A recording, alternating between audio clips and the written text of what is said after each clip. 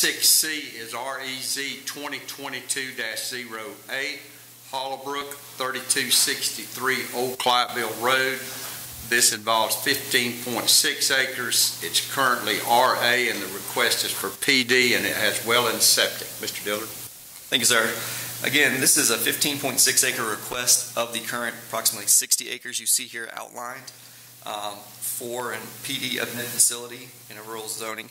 It is currently RA, and you'll note on the future character map that it is within the urban service area and also in the suburban character area.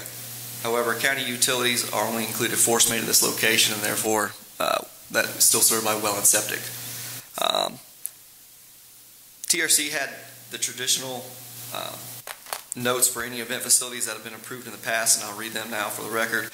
The uses of the property may only be used for uses permitted in RA zoning district and an event facility where the operation of an event facility is limited to meetings, retreats, celebrations, and weddings for groups no larger than the fire code allows or the proposed buildings and area.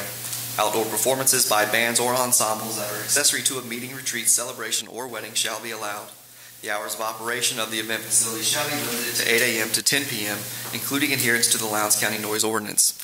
Condition two, unless otherwise noted on the approved site plan, the use of the property shall be subject to all standards applicable to properties in RA zoning. And condition three, exterior lighting shall be shielded to avoid direct illumination of adjacent properties. Again, staff found that these were staff-imposed conditions, and Planning Commission recommends approval with those conditions oh. 10-0. Any questions for Mr. Dillard? Mr. Dillard, I, I do, and it's, it's on one of those conditions. Um, from the standpoint of our noise ordinance, it goes to ten PM.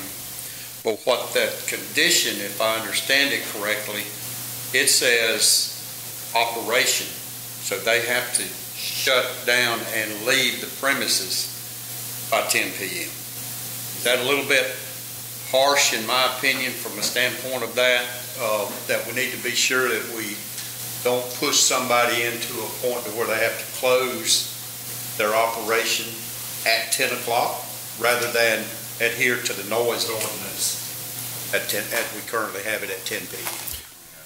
Yeah, I misread that too. I thought that was the noise ordinance. They don't reference that. They It just, says operation. yeah. So I, I just, we need to be real careful on that one about how we, how that's, whether you include that condition or not.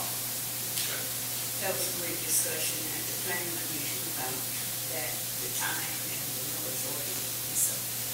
Yeah, I mean, the noise ordinance, the noise ordinance i- is that, it's a separate document from the standpoint that anybody, it doesn't matter what your hours of operations are, you have to adhere to the noise ordinance. Just something to think about between now and tomorrow evening's meeting. Anything else? Okay. All right, we'll move on to